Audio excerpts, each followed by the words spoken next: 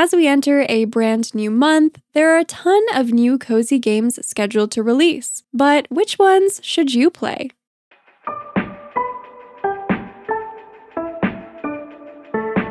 Hello, friends! Welcome back to my channel. I'm Sarah Sunstone, and today I will be sharing my top picks for new cozy titles and game updates releasing throughout the month ahead. So, without any further ado, let's get right into it. First up today is Quilts and Cats of Calico, a digital adaptation of an award winning puzzle game developed by Monster Couch, who kindly sponsored this portion of today's video. Quilts and Cats of Calico is a wholesome virtual board game where your main objective is to create a quilt from patterned fabric scraps. The game offers a story mode campaign set in a world inspired by Studio Ghibli, where cats have great influence over people's lives. Perfect your craft as you sew your way through a city of cats, and help the townsfolk you meet along your journey through the power of quilting and kindness. The story mode will introduce you to the game's different puzzle mechanics one step at a time. However, I would strongly recommend playing through the tutorial first if you're brand new to the game, because it will provide you with additional guidance. Outside of the story mode, you can enjoy playing different game modes solo or with up to four players in multiplayer. You can play with friends, random players, or against AI of varying difficulty levels, which is great for practicing and strategizing. To create the perfect quilt, cleverly sew together different colors and patterns of fabric to earn points based on different design goals. Combine three tiles of the same color to sew on an adorable button, and if you play your tiles right and collect every color of button on your quilt, you'll actually get to sew on the vibrant rainbow button and earn even more points. Another way to achieve bonus points is by attracting a variety of cats who have unique preferences for bedding patterns specifically. You can also interact with the cats who will roam around as you play, petting them or shooing them if they get in the way. You can even create and name your own cats who will roam the board as you play with fairly detailed creator tools. You can adjust most of the cat's appearance, even including fur patterns and colors, and my personal favorite was, of course, browsing through the adorable and fun accessories. I just had to make a sushi cat. The game's soothing soundtrack, coupled with the very tactile experience of creating quilts, makes it a great title to kick back and relax with. If you love cats, puzzles, vibrant colors, and pretty patterns, you might like to give Quilts and Cats of Calico a try. The game is out now on Steam, and I also have good news for many of you because it will be coming to the Nintendo Switch with cross platform multiplayer, though we don't have a confirmed release date just yet. Next up, we have SUMMERHOUSE, a tiny building game where you get to create neighborhoods of beautiful lived in homes with no rules or restrictions, just pure creativity. Build to your heart's content across a variety of settings, including the sea, the city, and the mountains. Soak up the vibes of long lost summer afternoons and enjoy discovering little secrets as you build. There is a demo currently available for the title on Steam if you'd like to give it a try ahead of its release. I personally loved kicking back with it to create some adorable buildings. The design mechanics were very tactile and satisfying. This sweet and simple title was created by a solo developer and is releasing on March 8th on Steam. Then we have Light Lightyear Frontier, a peaceful open world farming adventure game game set on a planet at the far edge of the galaxy. Build your homestead, farm sustainably, grow alien crops, customize and upgrade your mech,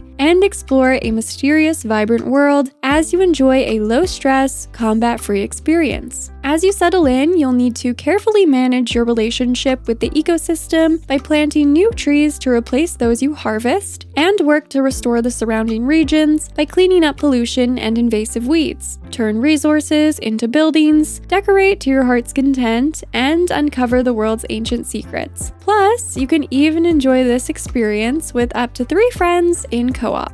Lightyear Frontier is releasing into early access on PC, Xbox Series S and X, and Xbox Game Pass on March 19th. Also releasing on March 19th is Stardew Valley's 1.6 update for the PC, an exciting surprise for fans of this famous farming sim. The game's developer, ConcernedApe, has shared that the update will include a new major festival, along with two new mini festivals, new late game content expanding on the skills, new items and crafting recipes, Joja alternatives to some of the endgame quests, 100 plus new lines of dialogue, winter outfits for the villagers, a new type of reward for completing billboard requests, PC support for 8 player multiplayer, a new farm type, new secrets, adjustments, and more. The update will also be coming to console and mobile, but no confirmed date for these platforms just yet. If you've been waiting for a reason to dive back into Stardew Valley or would like to pick it up for the first time, perhaps the 1.6 update would be the perfect time to do so. Next, we have Princess Peach Showtime, an action adventure title starring none other than Princess Peach herself. Help Peach save the Sparkle Theater from the Wicked Grape and the Sour Bunch, who have stolen the show and set the stage for tragedy. Joined by Stella, the theater's guardian, Peach will undergo various transformations, each with unique abilities, powers, and objectives. I am so excited for this game. It looks like it's going to be a ton of fun, and I do have a number of videos covering it on my channel, which I will have linked in the description if you'd like to learn more. Princess Peach Showtime releases on March 22nd for the Nintendo Switch, and I just can't wait to play. Then we have Palia's highly anticipated Steam release, landing on March 25th.